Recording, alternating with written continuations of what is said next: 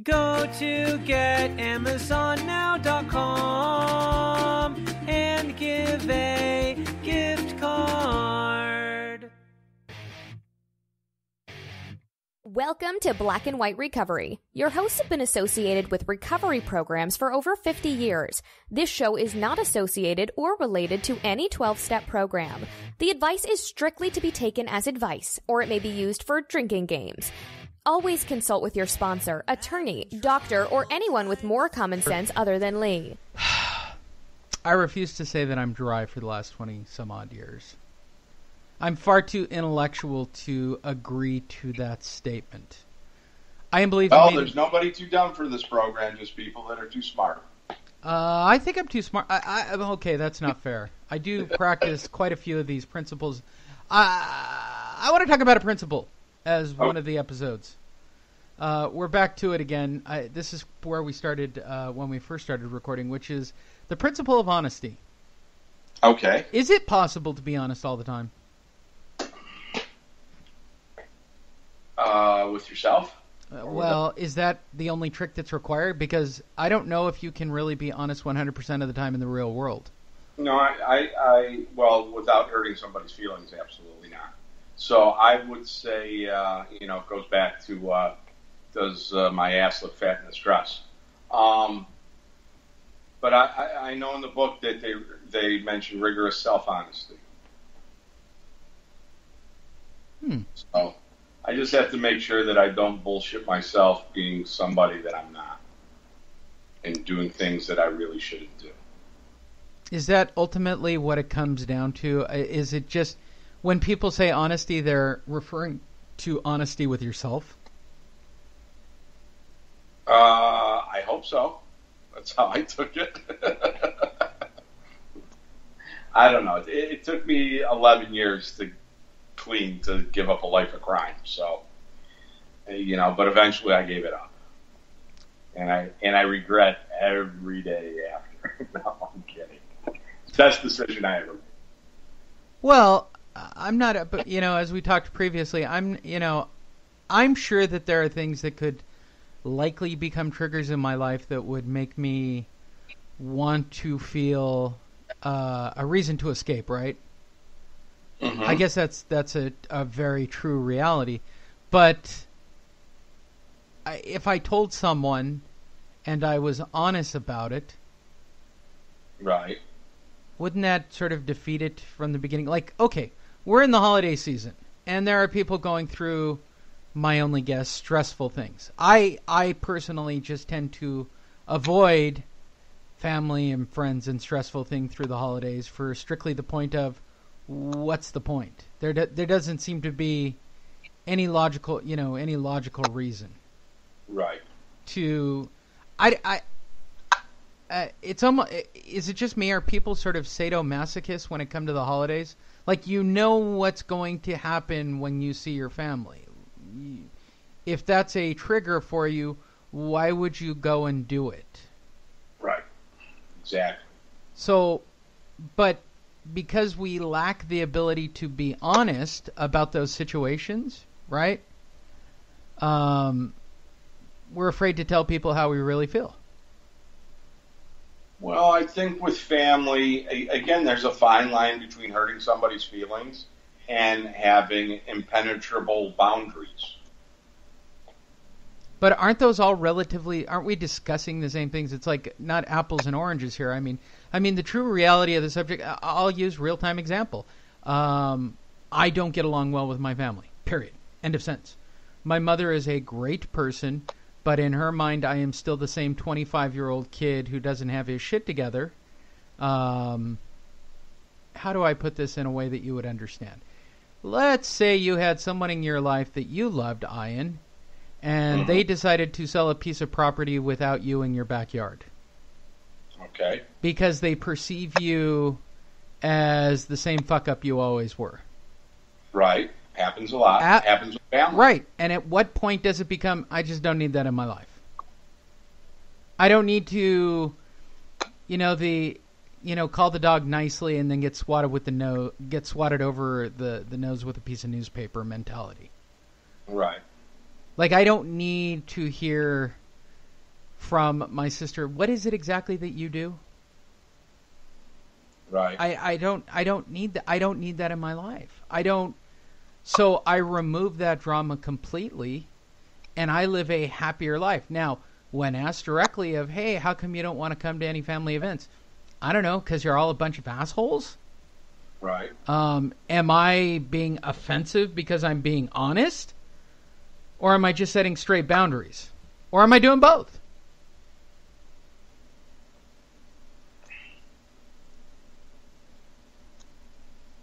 I think you do well. There, like I said, there's a fine line. There's a balance between it. It's hard to set boundaries without hurting somebody's feelings. Oh, I, I completely agree about that. But at the end of the day, last talent that it mastered. last time I checked, even in the grand scheme of things, it's God, me, and then everybody else, right? That's basically the build order for a sober person, whether or not they want to admit it. You can't put other people's feelings in front of your own. Um, I love my daughter more than oxygen, right? I will physically, Right. I will physically kill people. Like I don't. Right. There's no question. They can go and find many a broadcast of me doing something somewhere where I w- I have said point blank that if something bad happened to my daughter, that person and their family is dead, and I have no issue with. Right. Like I have no. Lock me up. I'm willing to go, Yeah. stick the needle in my neck. I'll probably kill myself after I'm done with the event. But the bloodline that ended my bloodline is gonna die. That's just the way I roll. And I know that's oh, you're just talking shit, Lee. You'd never no. You're wrong. You're you're literally wrong. I don't know how uh what is it uh what is it uh the the kid who got murdered in the the Simpson murder uh how Ron, Ron Goldman. Goldman's fan, like how he's like, yeah, I just want justice. I don't want justice. I, I don't want justice. If I really thought OJ did it, he'd be dead. He would physically be dead. He either he has doubt that that's the correct person, which he never seemed to have. Um, I, and I just want to clarify that as a point for everybody to understand. But if I if my daughter was doing something that was negative towards me that made me feel bad, and or she thought I was having a negative effect on her life, I'd be the bigger person and remove myself from that situation. I believe that even my daughter at age 12, she and I have the kind of dialogue where we can talk about those things. But I've worked pretty meticulously hard on staying sober so that I can provide for her or provide for others in my life. I mean, that's just a logical point of view. Um, and I've always kind of maintained that I'm really sorry that someone died. I'm really sorry that that person's sick. I'm really sorry that I've got the flu. But at the end of the day, I've got to do whatever I've got to do to keep myself going because at a certain point you realize that people are relying on you to do something. You you you actually have a level of responsibility. It's almost people who don't want to be honest don't want to take responsibility. Okay. Is that a fair statement? they don't want to face responsibility. Yes, yes. Is there something that generally, I mean, when you're talking to people in the program, and I'm sure you've had your fair share of the, let's just make 35 the cutoff points, below the age of 35, already have a kid, already split up in the relationship, they're already worried about seeing their kid enough and worrying about them being a stripper or not being a stripper, trying to hold out a job, chain smoking, barely keep the car running. You sponsor that person, right? That is a sponsee in Oh, yeah. your universe. hmm Do they realize the level of responsibility that they actually have? Or are they blaming drinking and using as the reason they can't move forward? No, they're blaming the ex and the and the child support payments on why they can't. That's unbelievable to me. Like it's literally unbelievable to me. I whether or not anybody wants to admit it, people and here's something that I've had to accept. People will go on if I were to die tomorrow. And there are a lot of people relying on the money that I make. And I make uh, a pretty good living. And the money that I make all goes somewhere. Uh, but I also believe that if I were to die tomorrow, I think everybody's going to get by without me. I think the world will keep turning. There will be a handful of people that are sad, and it will be just a handful. I admit that. Um, but by and large, the world will keep going. You know, I hope it's a big hand. it's not a big hand. It's not. It's No, not. it's It's, really hand. not. I'm kind of. I like I'm generally hand. kind of a douchebag, and I Is it like a Trump hand? It, it's not a baby hand. It's kind of a moderate hand. No. But I, you know what? I accept that I am generally not everybody's taste, except for those that are around me. Like I've surrounded my people. I've, you know, we talked about this previously. I am surrounded by uh, people that I want, not necessarily want what they have, but like-minded. I'm not hanging around with people that are, you know, we're I think it's my responsibility to get what I want. okay. and you know I, I can't I can't blame my recovery on you know oh I want what they have, but unless you're willing to take the suggestions to do what they did, you're not going to get what they have. But you and I both know that in the next couple of weeks, uh, it, when you go to a meeting, or if I were, I'll make it clear to everybody, if I were to go to a meeting, we're going to hear Yeah. about the guy who went to dinner and got all glazed up by his family and felt really good about being there with them, and then suddenly had all the air deflated by his family on him. And not set good Right. boundaries and literally walk into a complete sucker punch by the family.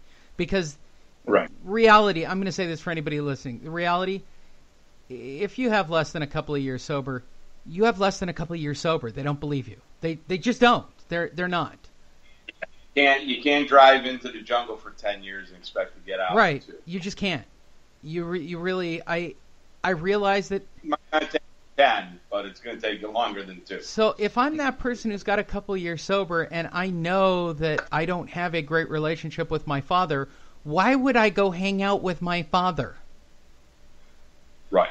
Exactly. Oh, And you and I both know, again, with certainty, as you go to a meeting tonight or tomorrow, or if I were to go, we're going to hear that story. Like that's that story's a flat out given this time of year. That's coming out of somebody's mouth, and they're going to stand there scratching their head and how they had to, you know. And then it goes back to, you know, I was really thinking about drinking. It was all so stressful for me, and then luckily the phone rang and I got myself to a meeting. How did it get to that point, bro? Like how like how did it get to that point? yeah. Why, why do you let it get there? Why do you Why'd even you go? This Yeah. was the first year where I flat out and, and hey, don't get me wrong, I'm a pot and a kettle and it's way black at this moment. 20 Mm-hmm. some odd years where I finally was yeah, I don't even want my daughter around you guys. I don't want whatever negative icky shit you guys got going on to rub off on my perfectly good child. Okay, I don't. She doesn't. She doesn't need to be a part of it. Like I don't. This is a true story. We, I went to an event, picked up my dad, who I've never had a good relationship with, um, and watched my daughter, uh, age twelve, explain to my mother, with just a head shake and a and a frown of what the drive was like over to my sister's house, of our conversation. That's just fuck you, Dad. I mean, seriously, can't you keep your shit in your pants? I don't need to be around it. And I can say that. And and again, pot, kettle, and definitely black. It's taken me 22 years to be grown up enough to go, I don't, you know, I don't need I, I don't want to sound shitty about it, but I don't need that in my life. I don't need you in my life if you're going to be that person. I don't, you know, it's really difficult and it makes me really sad because uh, I think all of us, uh, I can safely say that the traumatic event for me is, you know, daddy didn't love me. But at some point, I'm I'm a 48 year old going, hmm, I, I can't I, I can't keep doing that. You can't you can't constantly be seeking out attention and constantly looking for it if you know what it is. And I just see this time of the year specifically, I'm looking at not a few. I mean, I'm going to be very nice. Those of you listening, I guarantee as you listen to this, there are those of you who have family problems and you can't be honest with your own family. No, they let me back into their house. They're giving me a chance. Yeah, if they're shitty to you, they're going to be shitty to you. I don't want to be